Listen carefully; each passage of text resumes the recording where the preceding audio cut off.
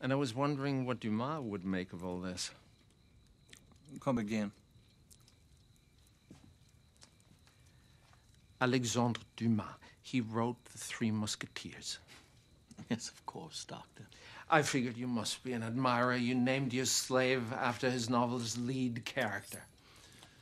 Now, if Alexandre Dumas had been there today, I wonder what he would have made of it.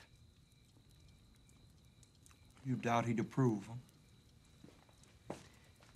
Yes, his approval would be a dubious proposition at best. Soft-hearted Frenchie. Alexandre Dumas is black.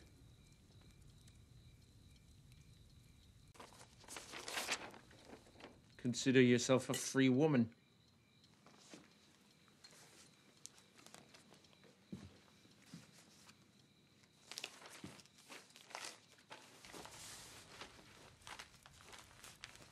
Mr. Candie. Normally, I would say auf Wiedersehen. But since what auf Wiedersehen actually means is till I see you again, and since I never wish to see you again, to you, sir, I say goodbye. Al, once a business deal is concluded that the two parties shake hands, it implies good faith. I'm not from the South. But you are in my house, Doctor. So I'm afraid I must insist. Insist? On what? That I shake your hand? Oh, then I'm afraid I must insist in the opposite direction. You know what I think you are?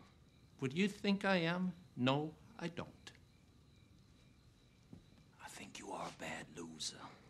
And I think you're an abysmal winner.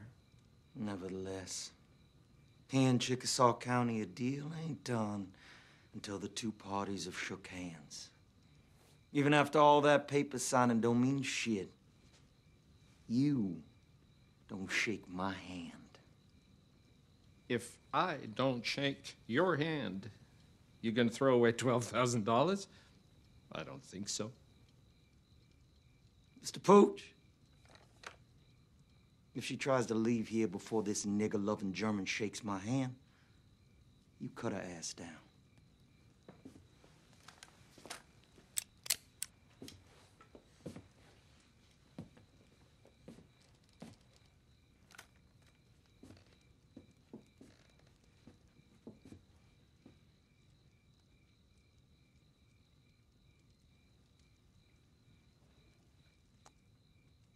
You really you want me to shake your hand? I insist. If you insist.